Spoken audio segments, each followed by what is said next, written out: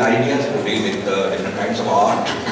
And very often, the, uh, those who run these little magazines uh, run them with a kind of missionary seal, uh, which uh, perhaps that's what distinguishes the little magazines from uh, commercial. One of the features that distinguishes them from the commercial magazines. They are, of course, they are run professionally, but then there's a kind of complete involvement uh, in the running of the magazine. You are committed to the various kinds of uh, fresh ideas that you are trying to propagate, or uh, you are also perhaps trying to promote a new understanding of arts and literature, a new poetics, a new aesthetics, and, and definitely uh, ideas which are also relate to society.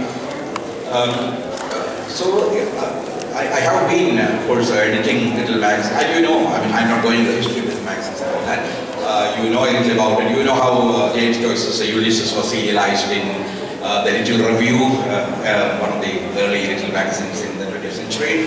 And you also know his own portrait of an artist and Eliot's essays were all published in The Egoist, edited by T.S. Eliot and Ezra Pound. And I think in India too, new movements particularly have emerged through the little magazines, like Shabd in Marathi or Kallol in Bengali or Alochana in Hindi.